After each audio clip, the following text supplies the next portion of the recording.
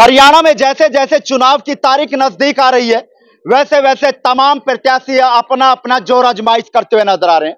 फ़िलहाल पुंडरी विधानसभा के गाँव फतेहपुर की तस्वीर है, जहाँ पर भाजपा के प्रत्याशी सतपाल जांबा और कुरुक्षेत्र के सांसद नवीन जिंदल लोगों के बीच पहुँचे हैं और लोगों से वोट की अपील कर रहे हैं।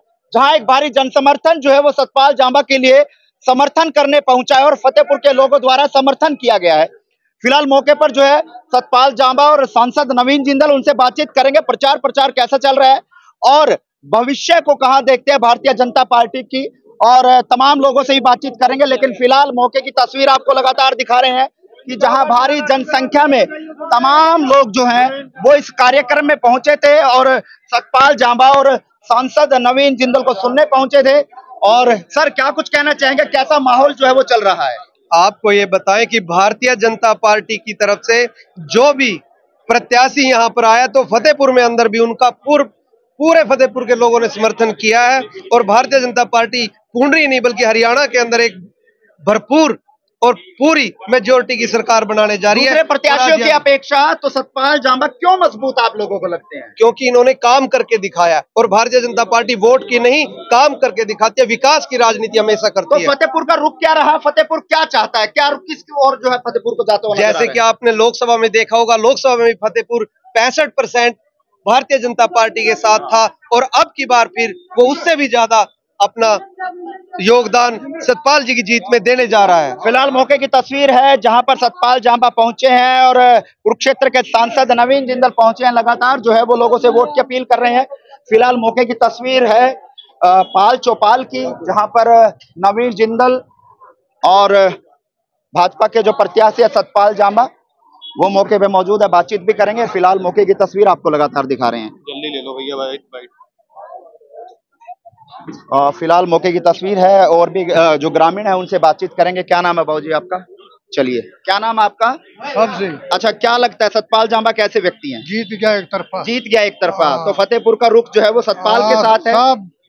सही है क्या ऐसा क्या अच्छा लगता है सतपाल के अंदर कि आप वोट देने पे मजबूर मुद्दा और जो प्रधानमंत्री हाँ। ये वोट उसको मिलने लग रहा अच्छा हाँ। यानी कि प्रधानमंत्री भी इनकी कार्यशैली से खुश हैं हाँ, उसको क्या नाम आपका हाँ जी मैं निवासी फतेहपुर हूँ हाँ। जाति बैरागी है हाँ। सतपाल जम्बा एक तरफा है। पार है जी। पार है। पार है आप लोगों का सहयोग है। हाँ। फतेहपुर का सहयोग है। हर तरीके से चलिए गाँव फतेहपुर की ये तस्वीर है। जी क्या नाम आपका? हाँ, जगदीश है जी जी जगदीश जी क्या लगता है कुंडरी विधानसभा कुंडरी विधानसभा में महाराज सतपाल जम्बा बहुत अच्छे कार्य कर रहे हैं। सफ़ाई योजना इसके बहुत अच्छी है। बहुत हम्म। बढ़िया काम कर रहे हैं। हम्म। आज से नहीं काफ़ी दिन से कर रहे हैं। हम्म। और बढ़ने के बाद तो हमने कुछ काम अभी हल्के को बोझ ही बड़ी सफ़ाई से बोझ ही आगे ले वाला बंदा है। तो उम्मीद है कि जैसे कि सतपाल जाम्बा ने अपने गाँव को खूबसूरत बनाया है वैसे ये पुंडरी विधानसभा के तमाम गाँव ऐसी जी हमारे पुंडरी को पुंडरी हल्के को पूरा साफ़ सुथरा और हिंदुस्तान में सबसे आगे ले जाने वाला बंदा है। अच्छा। हाँ जी। तो फ़िलहाल तमाम लोग जी। चलिए चलिए चलिए फ़िलहाल मौके पर जो है सांसद नवीन जिंदल हैं उनसे भी बातचीत करेंगे क्या कुछ कहना चाहेंगे?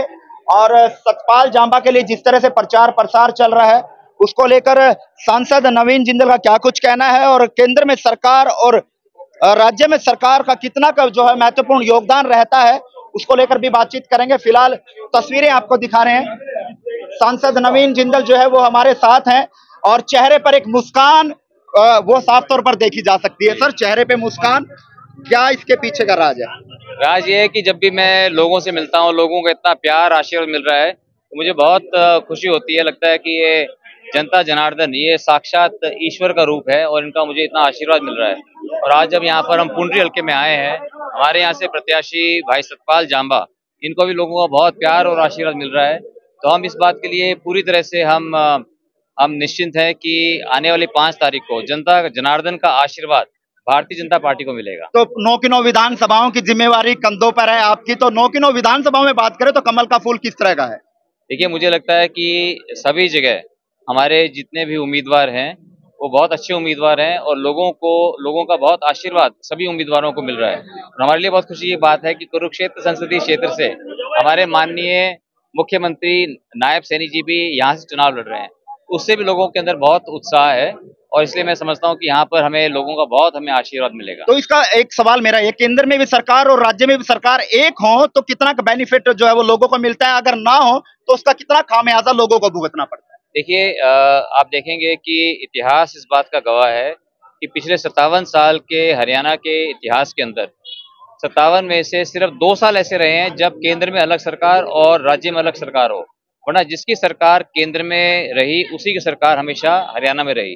क्योंकि हरियाणा की जनता बहुत जागरूक है, वो इस बात को समझती है कि अगर हरियाणा में और दिल्ली में, केंद्र में सरकार एक ही होगी तो आपस में समन्वय बना रहेगा, आपस में तालमेल रहेगा और जिससे राज्य को फ़ायदा होगा, राज्य के लोगों को फ़ायदा होगा।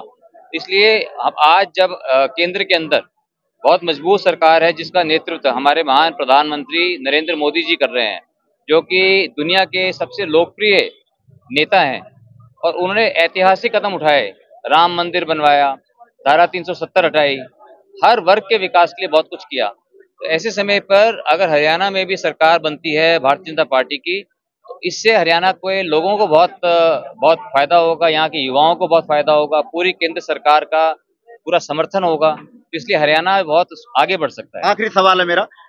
भाजपा के प्रत्याशी है सतपाल जांबा। आपकी नज़र में पुंडरी वासियों को क्या संदेश है? आखिरकार क्यों सतपाल जांबा को पुंडरी विधानसभा के लोग जो है वो वोट करें? पुंडरी विधानसभा के लोगों को सतपाल जांबा के लिए वोट करना चाहिए।